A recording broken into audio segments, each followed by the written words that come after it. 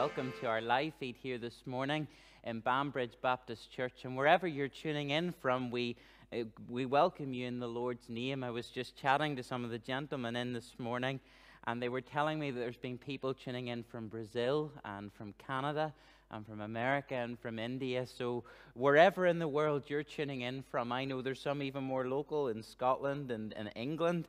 Um, let me bid you a warm welcome. We're so pleased that you're joining with us this morning as we gather around the word of the Lord and we seek his face this morning.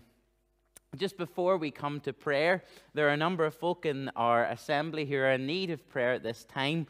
We want to continue to remember Winston Annett, who has, is still in hospital but's been making progress. Do pray for Muriel and the family circle at this time. Also, Stanley, Stanley Morton, he's been in hospital, and we want to pray for Jennifer and the family. Um, Fred McKelvey has had the coronavirus and is very weak at this time and in need of prayer. Uh, and this morning, you may have been expecting Pastor Taylor um, to be preaching. Unfortunately, he had a fall on Friday and has broken his arm in a couple of places. So he's in need of prayer at this time, and um, he's due to see the specialist in the incoming week to see what damage has been done. So all these folk are in need of prayer this morning as we come before the Lord. You and I, we're in need of prayer too. As we come and we meet around God's Word, we want God to speak to us. Uh, we want Him to meet with each of us in our homes, that the Spirit of God would deal with each one of us um, as we come to His Word this morning. So we're going to ask for His blessing upon us. We're going to ask for His blessing upon each of these families that we've mentioned, and we'll come before Him now. So let's pray.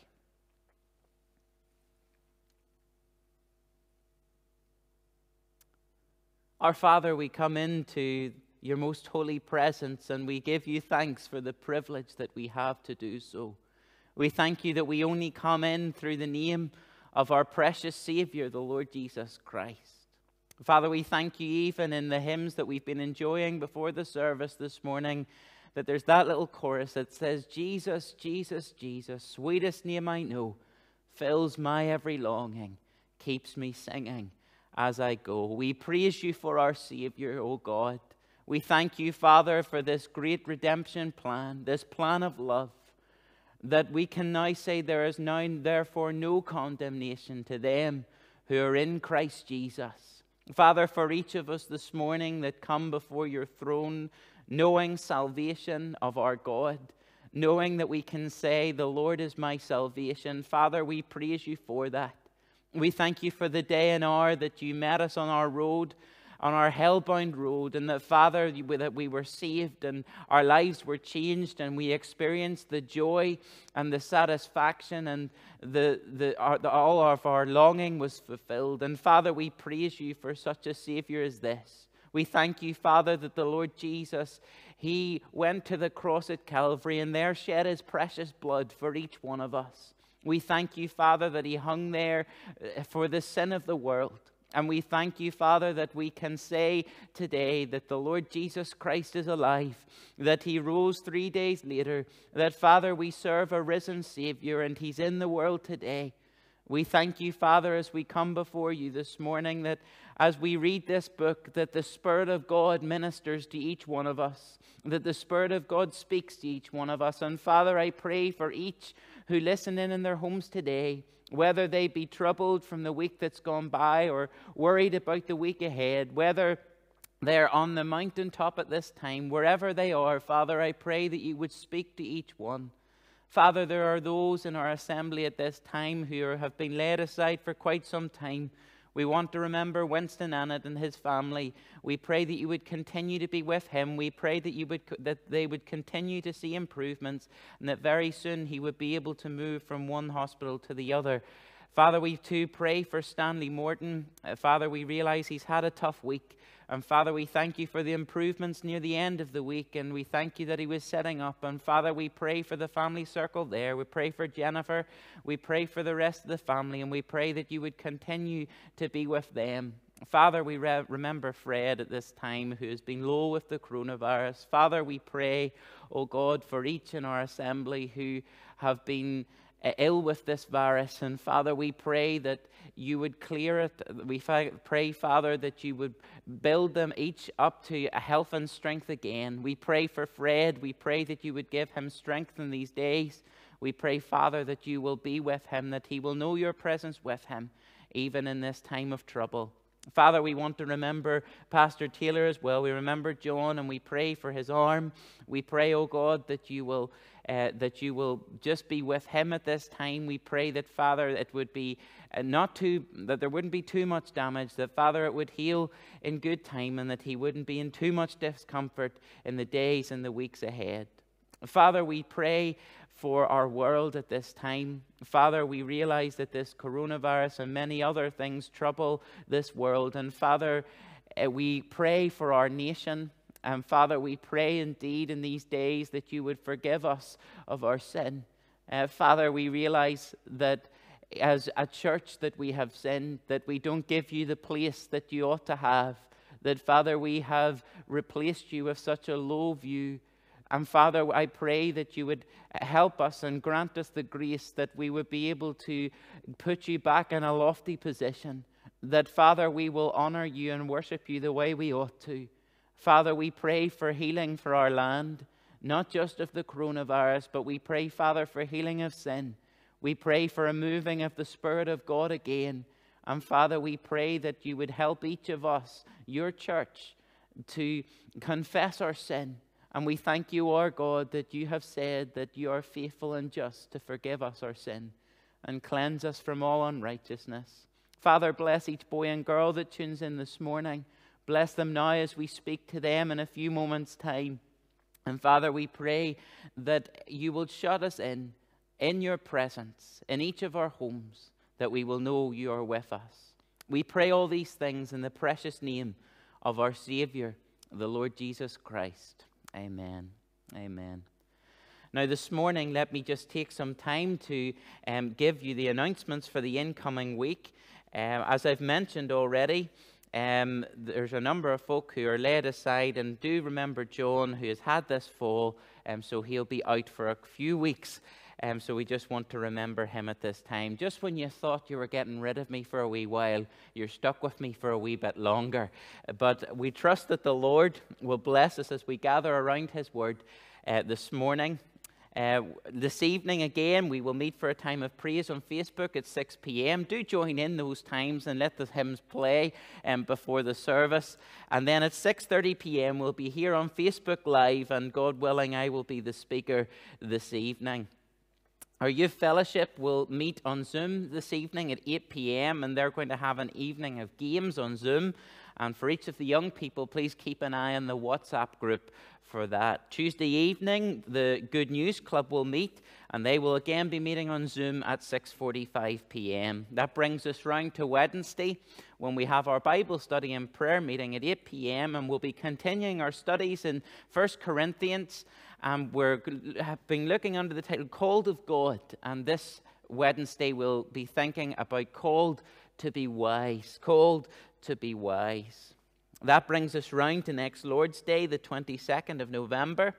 Um, Sunday school, uh, Andrew has left a little message here to read to you. Sunday school plans to recommence via Zoom on Sunday, the 6th of December. Please contact Andrew Shaw with your email address so that a consent form can be sent out this week. Uh, the team will require a completed consent form prior to the 6th of December. And then Andrew uh, encourages you to continue to encourage the children uh, to tune in to Colin, Colin Tinsley and his Hope for Youth channel on YouTube. We are, God willing, hoping to be back in the building on the 29th of December, God willing, but we're monitoring that week by week. Um, so, boys and girls, it's good to see you this morning. Um, we, we're, we're, we're going to be thinking about. I've got a massive pencil here this morning. It's got a rubber at this end, and it's got a sharp lead at this end, and it's a big pencil. Hopefully, you're able to see it at home, and we hope that you'll be able to, to listen in as we talk to each one of you this morning. Now, when I think about a pencil, and I think about school and how you need to bring it into school and how you need to do lots of things with it, there's one thing that I think about first of all, and it's the hand that directs the pencil to write. If you leave the pencil on the desk, it's not going to do your maths or your English or your geography in school. It's not going to write all the answers. It needs to have a hand that takes it and lifts it and writes with it. And that's really important, isn't it? Because it reminds me for each of us, for those of us who know the Lord Jesus Christ as Savior, that we have a God who wants to direct us, who wants to lead us in the way we should go. A God who, if we place our lives in His hands, that He will show us the way we should live through His Word and He speaks to us. So, a pencil, it reminds me, first of all, that there's the hand that takes it and writes with it, and that directs us. The second thing that I think when I think about a pencil, sometimes when you're writing with a pencil for a long, long time, the lead, it starts to get a little bit blunt. And as you're trying to write, the wood starts to hit the page. And that's not very good, is it? You want to write with a sharp pencil. You want to write with one that uh, you're able to see your writing, that it is legible, that you're able to read your writing. I used to be a teacher, and I remember if someone came to me and they'd been writing with a blunt pencil, I could barely read their writing. So it was really important to have a sharp pencil. And you know, when I think about a sharp pencil, as we read God's word, and as we study it, and as we learn lots of stories at Good News Club and Sunday school, and as we meet each Sunday morning and we talk to the boys and girls, how it's important, boys and girls, that as we read God's word, that it sharpens us. It makes us alert. And the Spirit of God, it works, He works in our lives if we're a Christian boy or girl, and he makes us more into the image of the Lord Jesus Christ. Now, what do I mean by image of the Lord Jesus Christ? All I mean to say is this that as we read his word and as we seek to live more for the Lord Jesus, the Bible tells us that we will become more and more like him. We'll want to speak the way the Lord Jesus spoke, we'll want to live the way he lived and we'll want to live to please God. So, first of all, we've got the pencil, and we write with the pencil, and it, we direct the pencil, and God directs each of our lives. He directs our paths. That's what it says in Proverbs chapter 3. And then we remember that a pencil, it needs to be sharpened when it gets blunt, and sometimes we can get blunt and we can make mistakes and we can sin. But the thing is, God, He wants us to become more like the Lord Jesus and we can take the sharpener of God's word and we can sharpen it. Well, boys and girls, there's one thing that, that there's this end, on this end there's the lead, but on the other end we have a rubber. And you know, the rubber reminds me that even though we sin, and even though we make mistakes, that God, He promises that when we confess our sin, He is faithful and just to forgive us our sin. You see, boys and girls, you might be listening this morning, and you might never have asked the Lord Jesus to save you from your sin. The wrong things that you think, the wrong things that you say, and the wrong things that you do that breaks God's law. But the wonderful thing, boys and girls, is this that the Bible tells us if we turn away from our sin and we ask the Lord Jesus to save us, if we're sorry for the wrong things that we've done, that we've broken God's law, that we've, we've made God sad and He's angry with our sin, but if we come to Him and ask Him to forgive us for our sin, the Bible says, just like the rubber, God rubs out and gives us a clean slate. He rubs out our sin. The Bible says that God forgets our sin. It says He casts our sin into the sea of forgetfulness. How amazing is that? So, God, He directs us just like we direct our pencil. His word sharpens us. And the rubber reminds me that God, when we confess our sin, casts our sea into the sea of forgetfulness. But, you know, the pencil is all about what's inside. You see, if you were to have nothing inside, well, we wouldn't be able to write because the lead runs right up the middle of the pencil. And it reminds me of a story in the Bible where God actually ended up saying in 1 Samuel chapter 16 verse 7 it says man looks at the outward appearance but God looks at the heart. You see sometimes each of us we can look the part when we come out on a Sunday morning in our lovely Sunday clothes and we can sometimes come along to different meetings and we look great and we're going to the Good News Club and we're going to Sunday school. And we can look like we're a Christian. But I wonder, in all things, when you're in school, do you show that you're a Christian in the way you behave? When you're at home, when you're talking with your mum and dad, do we show that we're Christian in the way that we behave and we talk to our parents? how important it is in all of our ways to show that we love God and in our heart to love Him. How important is that? God, He sees all our ways and He knows what we are like in our hearts. But you know, not only does the pencil need directed, just like we need directed by God, and not only does it need sharpened the way God's word sharpens us, and not only do we have an eraser that can that can reminds us that our sin it can be cast into the sea of forgetfulness, and not only do we need to remember what's important is what's inside, but finally, the pencil it leaves a trace. And you know, one of the most wonderful things as you get older, boys and girls, is this looking back and seeing what God has done in your life. Boys and girls, there's many older people listening today, and they've had so many difficult things have happened to them through their lives. But you know, they're able to look back and they're able to think about how God has been faithful to them and how God has walked with them through so many difficult and really hard times. And boys and girls, that's the same God that you worship too. And He is able to lead you and guide you through really tough times.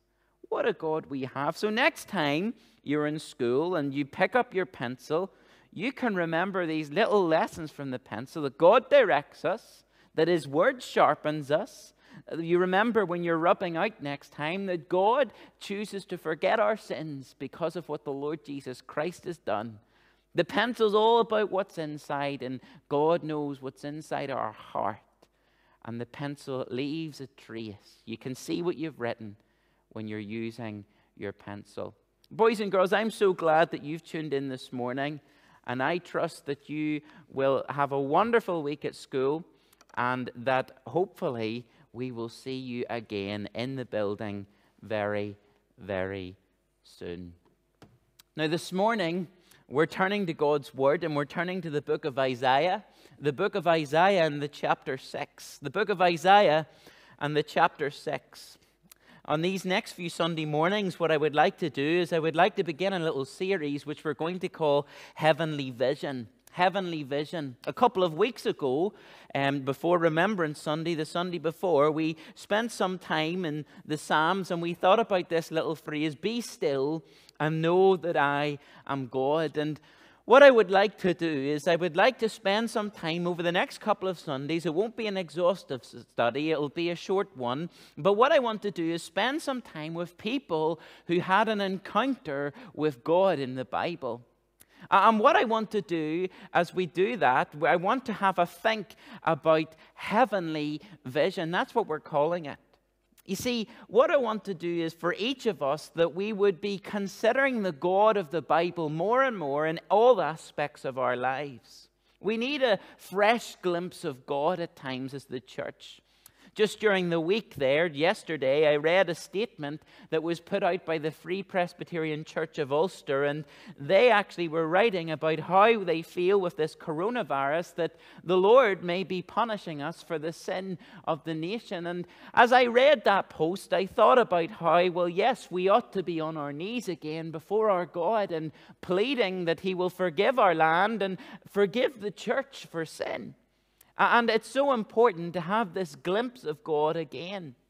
I remember when I was a lot younger at the Iron Hall, they preached a series called Glimpses of Glory. Glimpses of Glory. And I've never forgotten that title because as a church, all the time, through all years, how important it is to get a glimpse of God, to get a glimpse of glory, a heavenly vision. A heavenly vision. A vision of God that we would end up running for Him and worshiping Him and forgetting the things of this world and living for Him as we ought. Paul Washer, when preaching, once said this He said, Turn your eyes from worldly desires. You were made for higher things. The regenerate heart, the, the born again Christian, will never find satisfaction in a fallen world. Where do you find your satisfaction this morning? Is it in Christ? Or are you still dabbling with the world, dear Christian, this morning? You know, when testifying to King Agrippa in Acts chapter 26, this is what Paul said. Here's a man who had a glimpse of glory on the road to Damascus. He testifies that he was not disobedient to the heavenly vision. Oh, dear brothers and sisters, this morning we need a fresh heavenly vision. Turn your eyes from worldly desires, says Paul Washer. You were made for higher things my hope and my prayer as we consider some people over the next few weeks who had a heavenly vision that we find in Scripture, that by the power of the Spirit of God, that our eyes, yours and mine, I need a fresh glimpse of God too. That we will, that our eyes will be lifted heavenward. And that over the next number of Sundays, in the light of it, that we would be led to worship and wonder and to serve the God that deserves all our praise and all our honor. The, the fundamental fact of our faith is God. That God is holy, that God is majestic, that God is fearful, that He is mighty, that He is awesome, that He is transcendent. In fact, in Exodus 15, verse 11, it says, He is glorious in holiness. I don't think we'll ever understand the holiness of God in this life. But this morning, I want us to think of just getting a glimpse just a glimpse of this God, a glimpse of glory. And it will captivate us forever. Heavenly vision. And this morning, as we turn to Isaiah in the chapter 6, what I want to think about this morning is a vision of the throne. A vision of the throne. And we're going to read the first eight verses here in the book of Isaiah, Isaiah in the chapter 6 and the verse 1. And this is the word of the Lord. And it says here, In the year that King Uzziah died, I saw also the Lord sitting upon a throne, high and lifted up, and his train filled the temple. Above it stood the seraphims. Each one had six wings. With twain he covered his face, and with twain he covered his feet, and with twain did he fly. And one cried unto another and said, Holy, holy, holy is the Lord of hosts. The whole earth is full of his glory. And the posts of the door moved at the voice of him that cried, and the house was filled with smoke. Then said I, Woe is me, for I am undone, because I am a man of unclean lips, and I dwell in the midst of a people of unclean lips. For mine eyes have seen the King, the Lord of hosts. Then flew one of the seraphims unto me, having a live coal in his hand, which he had taken with the tongs from off the altar. And he laid it upon my mouth, and said, Lo, this hath touched thy lips, and thine iniquity is taken away, and thy sin purged. And I heard the voice of the Lord saying, Whom shall I send? And who will go for us?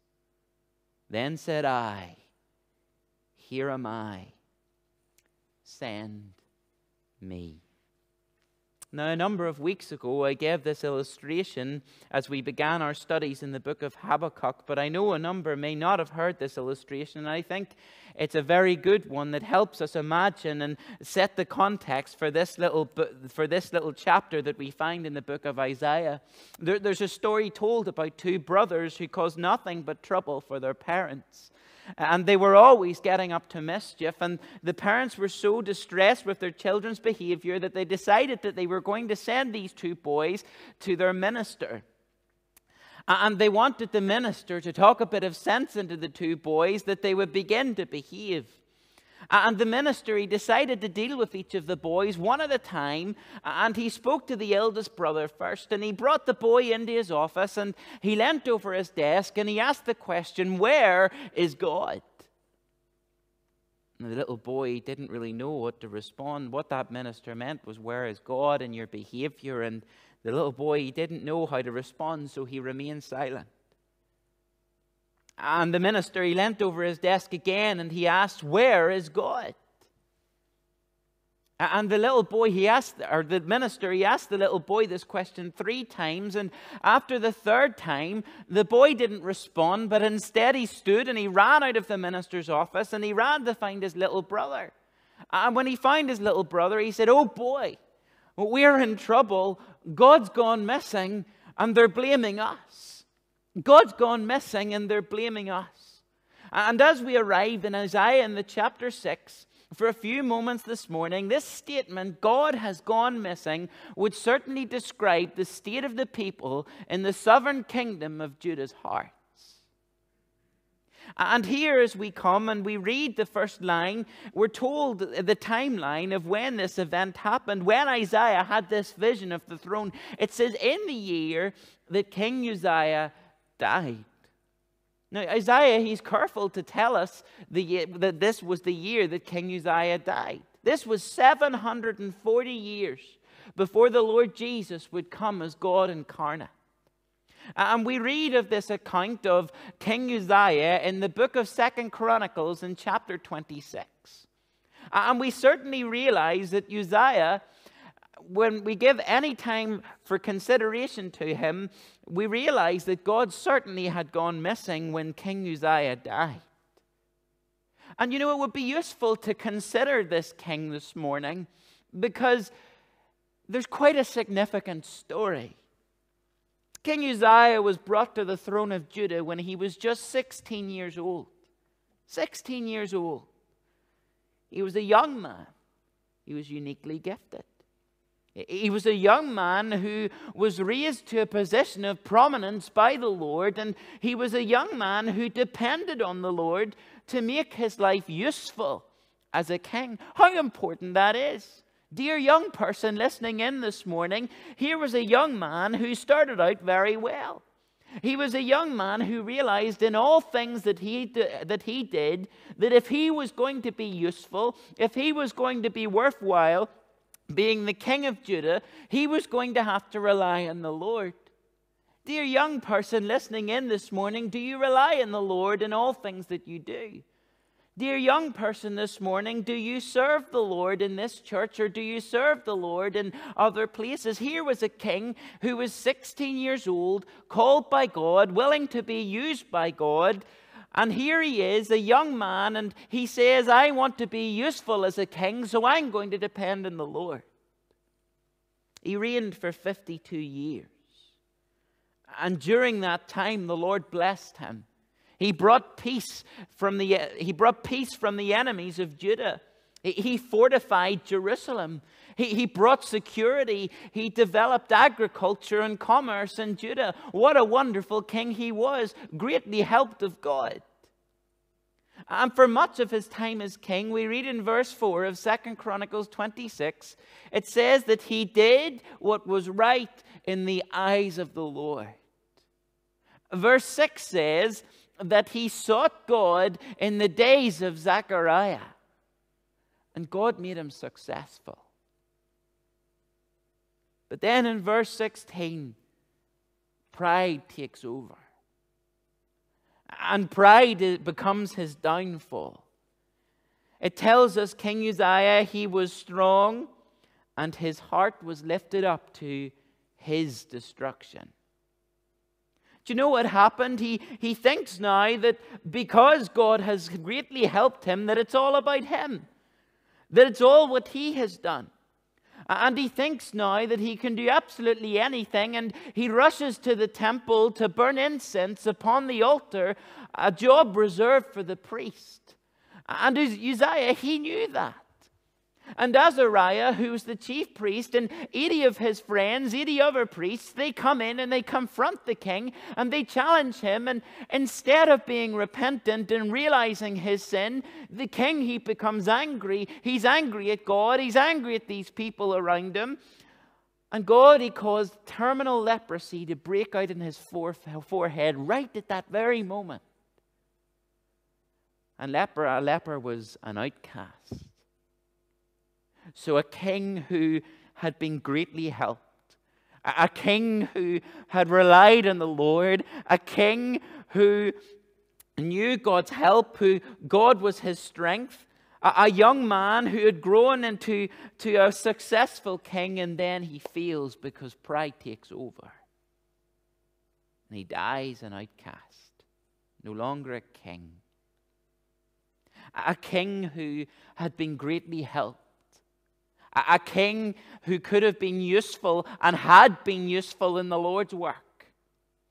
But when he took the Lord out of the equation, he became proud and he became very useless. Maybe this morning you're someone and you're involved in ministry. Could be amongst the children, could be providing music. You know what ministry you're involved in. And it may have been that over the years the Lord has made you successful, that God has been on the move within your ministry and He has blessed you, and the Lord has helped you greatly, just like King Uzziah. But you must never be taken over by pride of what you're doing, or you become useless. In ministry, it's not my strength, it's not your strength. What we do as the church of God, it's not of our own abilities that we're able to do it, but it is God who gives us strength. It is the God, it is that God makes us useful, and we ought to always be found on our knees, never ever taking credit for ourselves. It is God and God alone who equips us, and it is God and God alone who makes us useful. You must never be taken over by pride. What about us as a church, a local church here in Banbridge Baptist? We must never become proud of who we are or the history that we have or, the many activities that go on around the busyness of the week. It's not our work, it's God. And He chooses to use you and me. What a privileged position to be in. But it's all that we would seek to bring glory to His name because it is God who makes us useful. So, so Uzziah, at the beginning of Isaiah 6, has just died. This king who's been successful but has died in tragedy. And it seems like the time of peace is over. A leader who had crumbled. And we turn to Isaiah 6 and we learn that we need not worry about crumbling politics around us here in our country and across our world today. We don't need to panic. Why? Because we find the Lord, and the Lord, He's still seated on the throne. I think it's really interesting that at the time that there had been a successful king who had fallen flat on his face, that that is the moment that God appears to Isaiah and gives him this wonderful vision of the throne of God. And what I want to do this morning in our time that's remaining, I just want to pick out a few phrases from this chapter that we've read, from these verses that we've read, and build upon them. And the first is this he says, I, in the year that King Uzziah died, I also, I saw also the Lord. I saw also the Lord. Isaiah, he saw the Lord. Chaos was all around. King Uzziah had died and all the despair and all the anguish of the death of the king, all the people around can only see the king is dead, stability has crumbled, a crumbling leadership, the people have turned their backs on God, Judah has sinned, the surrounding nations have sinned, the whole earth has sinned. And what does Isaiah he see? Yes, in the year the king Uzziah died, sin is rife, but Isaiah says, No, I look above it, and in the year the king Uzziah died, I saw also the Lord.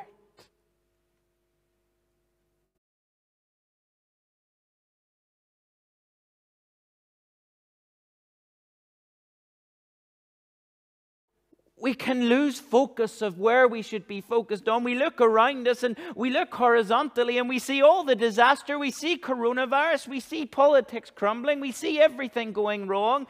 And our eyes very quickly are taken off the throne of God and our eyes are just on all the things that are happening around us.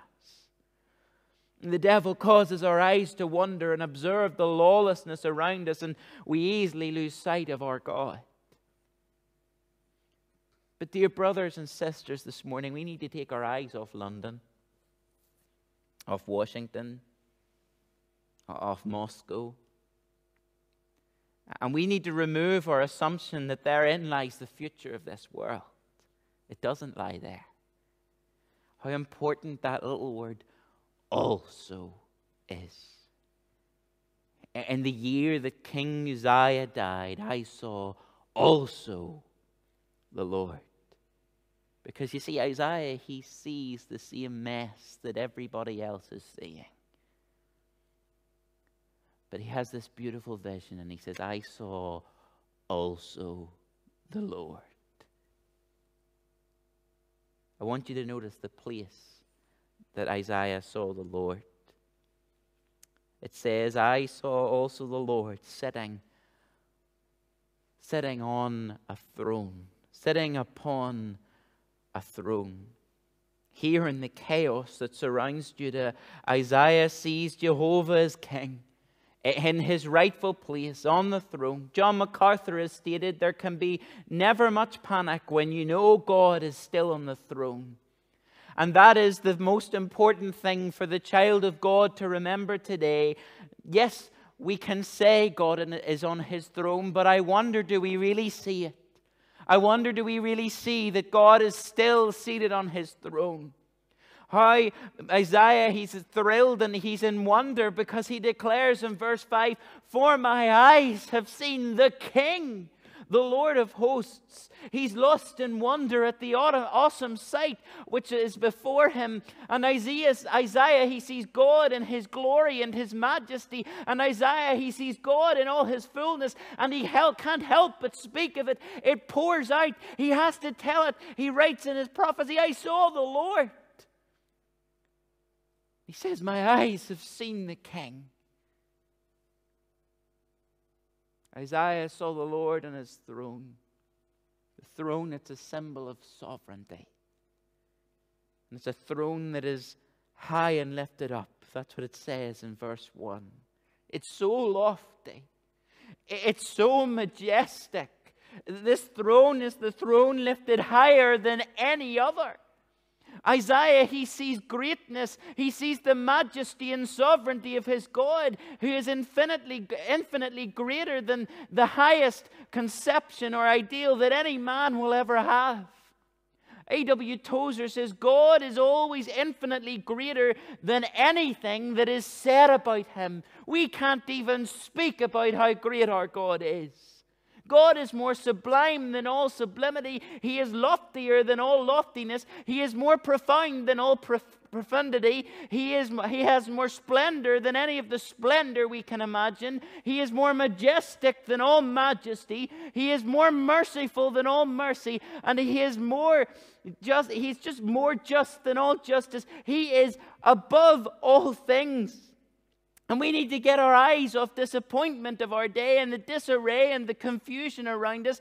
And we need to get our eyes fixed in the throne again and get our eyes fixed in the King, just the way Isaiah does when there's disaster around, when everything's going wrong, when the sin of the nation is around him. He says, I saw also the Lord. When we see him lifted up and our eyes are set on him and the throne, everything changes. Surely we need to take our eyes off the things around us and keep our eyes on Him. Then our hearts will rejoice within us, and the earth will grow strangely dim in the light of His glory and grace. Heavenly vision. Maybe you're sitting at home this morning and you're dreading the week ahead. A hospital appointment is looming. Constant worry of your family going in and out and this coronavirus going round, worrying about the children, worrying about parents. Depression and sadness may have gripped you. And yet, Isaiah, when he saw disaster, said, I saw also the Lord. And where did he see the Lord? On his throne. You see, how important it is to remember that God is in the throne and you must put him in the throne of your life. Get your eyes on him. We see the place where God was, he was on his throne. But secondly, we see something about God's presence. Look at verse 1 again. It says, I saw the Lord sitting on a throne high and lifted up, and the train of his robe filled, filled the temple. If you want to experience the presence of God, there's no room for anything else. Isaiah in his vision saw the robe of God Jehovah and it filled the temple. The temple was filled to capacity with the glory of God. And how Paul reminds us in 1 Corinthians Know ye not that your body is the temple of the Holy Ghost which is in you, this robe had filled the temple completely, and we ought to oh allow God to fill us completely. That's when we will experience His presence. He is disgusted with the films that we watch, the literature that we allow to pass eh, through our hands and before our eyes. His spirit is driven within him when he discovers some of the things that the church have allowed to come in. Is it no wonder, and I agree with them wholeheartedly, that the Free Presbyterian Church put out that statement this week to say that God's people need to repent? Is there any wonder? How do we experience his presence? Well, we must see him first in his place on the throne. And then we'll discover his person. Because we see in verse 3 how Isaiah calls out and he says, How one cried unto another when he speaks of the seraphim, Holy, holy, holy is the Lord of hosts. The whole earth is filled with his glory. In passing, how interesting it is to note that the seraphim use four of their wings for worship and two of their wings for service. We often get that the wrong way around, don't we? But we often do the whole service thing and the worship takes the back seat. Worship an afterthought and doing, doing, doing. Make sure we get our priorities right. First phrase we've looked at, I saw also the Lord. Second phrase I want to look at is in verse 5. And in verse 5, we read that Isaiah says this He says, Woe is me, for I am undone. Do you see how this vision it shifts the focus of the sin of others to the focus on the sin of the prophet himself? Woe means destruction. That's what that word means. And he sees himself before God and he goes, God, I am nothing before you. And he actually, in the chapters before, he's been, he's been saying destruction to all these other people, but this vision comes to him, and he all of a sudden says, Destruction is me, woe is me, for I am undone. Listen, he, he had said, Woe to the wicked, chapter 4, verse 11. Chapter 5, verse 8, he says, Woe to those who join house to house. Verse, chapter 5, verse 11, he says, Woe to those who rise early in the morning that they may follow intoxicating drink.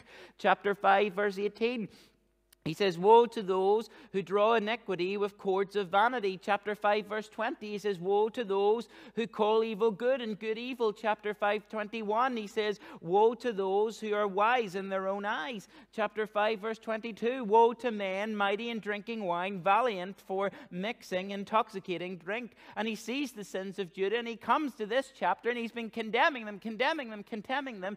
And then he makes this reference to King Uzziah, who is, reminds us of this this rife sin standing before God. But then the next thing is he sees himself before God. You know, in the Bible, a great mark of a godly man or woman, and the great mark of a man or woman that has encountered Christ, is that they are found in humility. There's a humility that grips their lives, and they see themselves as they really are. Isaiah initially sees a fallen kingdom. But does God's word not remind us that kingdoms rise and fall, but the word of our God shall stand forever? Isaiah 40 in the verse 8. Isaiah turns his eyes to the Lord and the need that confronted him, and all of a sudden he re- realizes his own sinfulness before a holy God. This is a prophet, this is God's messenger. And all of a sudden, the rest of the nation peels into insignificance as he realizes that he needs to deal with his own sin first. And he says, Woe is me, for I am undone, because I am a man of unclean lips. Maybe the greatest reminder we need this morning is that we need to pray this prayer. Do I need to pray it? I do. I need to say, Woe is me, for I am undone, because I am a man of unclean lips. Because when I come before this God, Yahweh Adonai, I realize that I'm unworthy to even stand here this morning. And, dear brother and sister, this morning, do we need to get back to that point where we're fully reliant on God? You may say to me, Well, Peter, you know, you, you bang on about this a wee bit. You know, if I knew that we were a full church of Christ who knew our need as an assembly before God, our prayer meetings would be packed. But they're not. Maybe it's time for us to say, in all this disaster, first of all, I saw also the Lord and then to say, Woe is me, for I am undone. I'm a man of unclean lips. The third phrase, penultimate phrase we're going to look at, is in verse 7. And he says this. He says, and he led it. It talks about the seraphim, sorry, in verse 6 to get the context. It says, Then flew one of the seraphims unto me, having a live coal in his hand, which he had taken with the tongs from off the altar. And he laid it upon my mouth, and said, Lo, this hath touched thy lips, and thine iniquity is taken away, and thy sin is purged. This hath touched thy lips. He touched my mouth. You see, we see one of the seraphim, and he takes a piece of live coal from the altar, and he touches the lips of the prophet, the prophet, and he says, Iniquity has been taken away, your sin has been atoned for. Uh, the piece of coal was taken from the altar, the place of sacrifice, the place of atonement. This is where the high priest would have sacrificed a lamb for the sins of the people. And in this passage, and for Isaiah, we find an altar and that's, that's so important there. That was important in the Old Testament times, this altar, which pointed towards the Lord Jesus Christ. But today we no longer need an altar, we have a cross. And it's at the cross that our sins were atoned for. For as much as ye know that ye were not redeemed with corruptible things as silver and gold from your vain conversation, received by tradition from your fathers, but with the precious blood of Christ, as a lamb without blemish and without spot, who verily was foreordained before the foundation of the world, that but was manifest in these last times for you who by him do believe in God, that raised him up from the dead and gave him glory, that your faith and hope might be in God. We have a cross. We only need an altar if there's something remaining to sacrifice. But praise God, there's nothing remaining. The Lord Jesus Christ declared it himself on the cross. He cried, It is finished. And we can approach this God who sits on the throne this morning through the finished work of Calvary and how the world needs to see people with touched lips and transformed lives. And lives are transformed at the cross of Jesus Christ.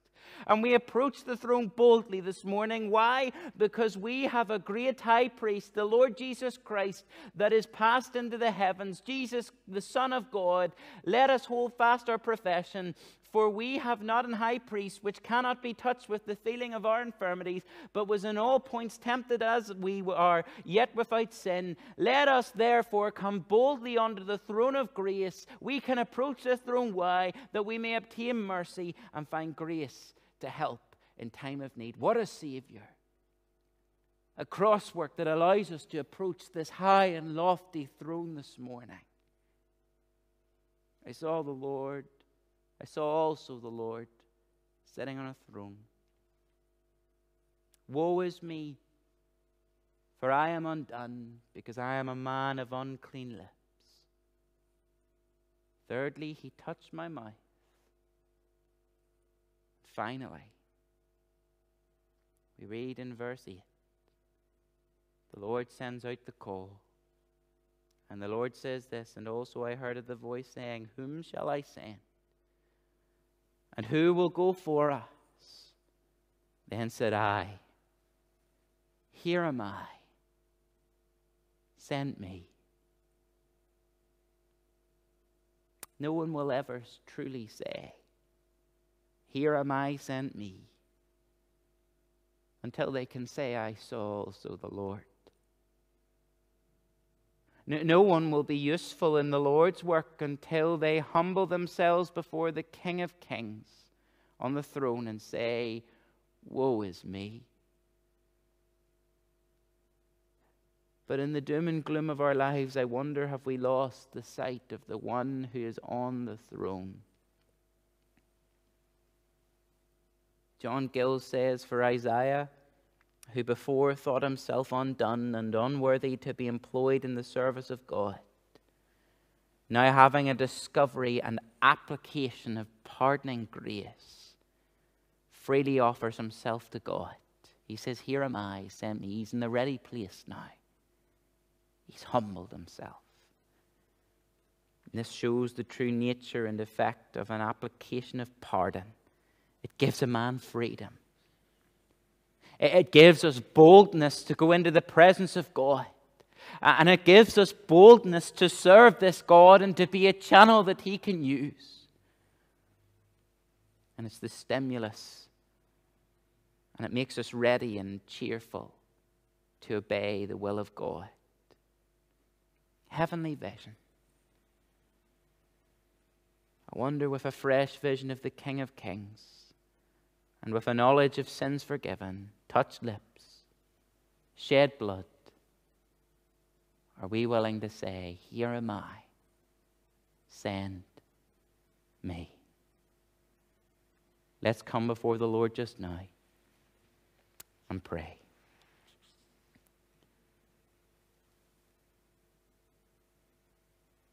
Our Father, this morning we realize that we do come before a high and lofty throne. And Father, we come humbly and reverently before that throne just now. And we realize, O oh our God, that just as Isaiah cried that he was a man of unclean lips, that each of us, O oh God, we are completely unworthy to stand before your throne. And oh God, this morning I pray that for each one, that you would touch our lips. That, Father, that you would cleanse us from sin afresh. Father, when we think of that piece of coal that came from the altar, we praise you that we can say no blood upon the altar now. We praise you that there is no need for the sacrifice of any more lamb. But Father, we praise you for the sacrifice of the Son of thy love, the Lord Jesus Christ.